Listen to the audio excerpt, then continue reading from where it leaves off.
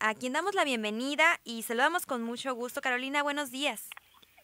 Hola, hola, muy buenos días, Alejandra. Qué gusto saludarte, Carolina. Y más porque tenemos un tema importante que queremos tratar contigo, que es la sobrepoblación canina en nuestro estado.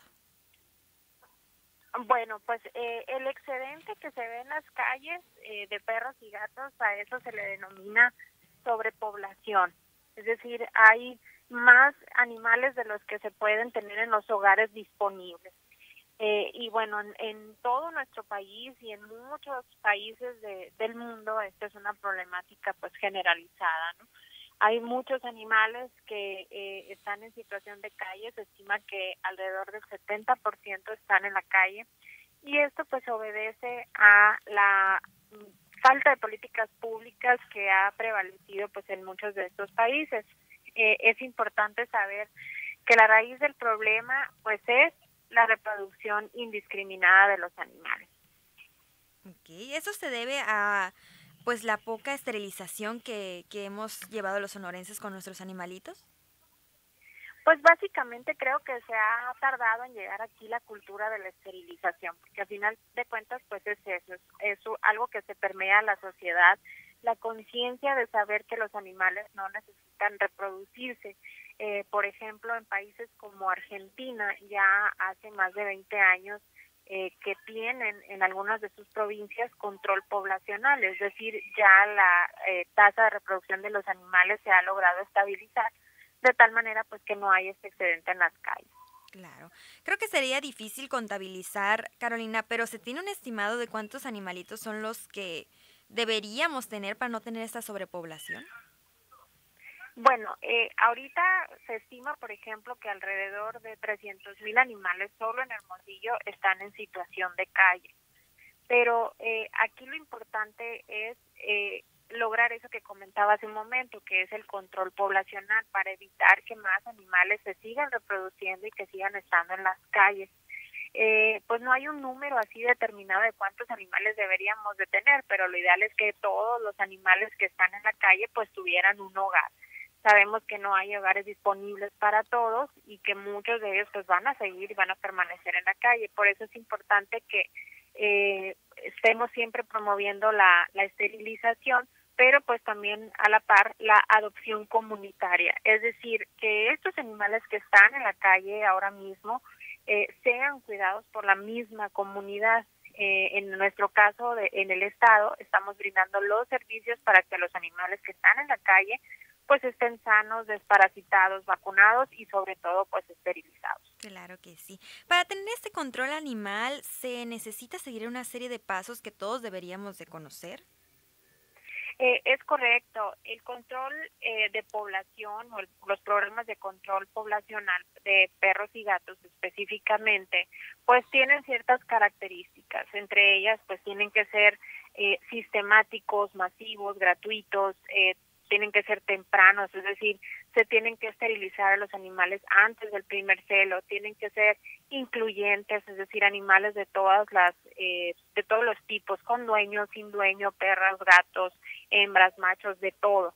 Eh, y es importante que este servicio pues también sea eh, acercado a la comunidad. Por ejemplo, ahora mismo estamos por empezar una campaña acá en San Pedro de Saucito pero eh, sí es importante que, que este tipo de programas lo operen los municipios en lo particular, obviamente de la mano del Estado, y eh, tiene que ser permanente. Eso es yo creo que lo más fundamental, que tiene que ser eh, sostenido en el tiempo y no debe de parar de esterilizarse todos los días del año. Claro. Ahorita que nos hablabas de, de, la adopción comunitaria, en Sonora no tenemos esa cultura, ¿verdad? Todavía, o es muy poco.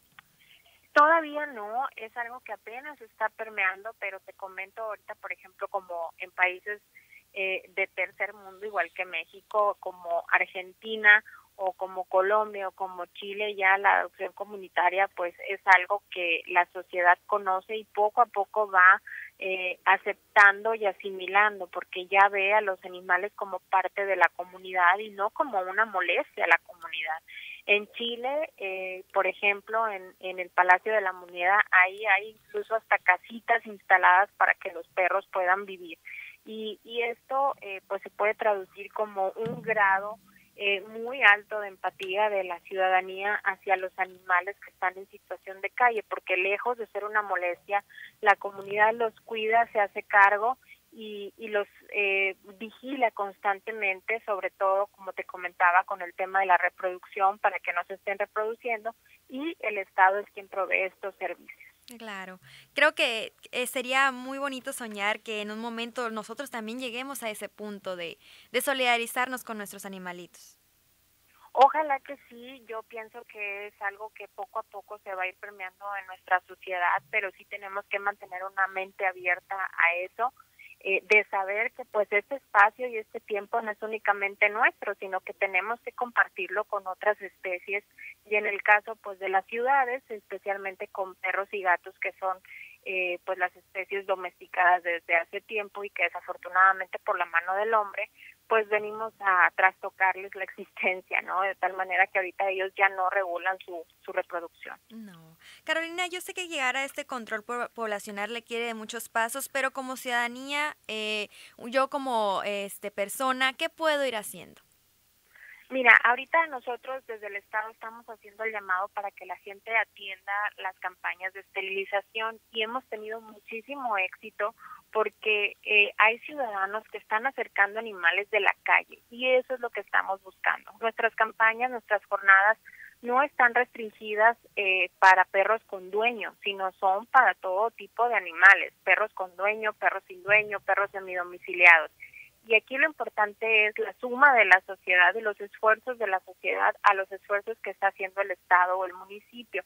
Eh, en este caso les estamos pidiendo a la gente que si ven animales en su colonia, que si saben de algún animalito callejero, pues que lo acerquen a las campañas, eh, siempre y cuando pues cumplan los requisitos de esterilización, pero es importante que la sociedad se accione. Si ya el gobierno está brindando los servicios, porque históricamente eso no sucedía y ahora esa historia pues ha cambiado, eh, el Estado se está sumando a estas acciones, pues ya le toca también a la sociedad sumarse. Claro, creo que es un buen ejercicio que deberíamos de aprovechar todos, sobre todo con esos animalitos, Carolina, que nos mencionas, que están en nuestra colonia, que muchas veces nosotros nos acercamos a darles croquetas y ahí viven, no tienen un hogar como tal, pero son parte de la comunidad.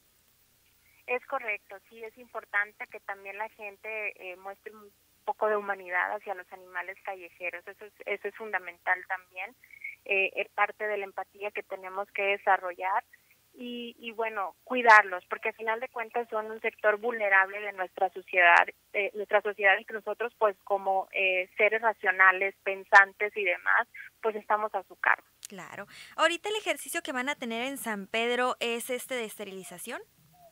Es correcto, es una jornada de esterilización, es una jornada pequeña, eh, pero bueno, eh, ya tenemos tiempo aquí eh, visitando la comunidad y bueno, próximamente vamos a estar en la mesa del SERI ya para agosto regresar a, Hermosillo con las jornadas. Muy bien, Carolina. Pues te agradecemos mucho por tu tiempo y a seguir trabajando en este control poblacional para que nuestros animalitos tengan una vida digna. Gracias, un abrazo. Gracias, buen día, Carolina.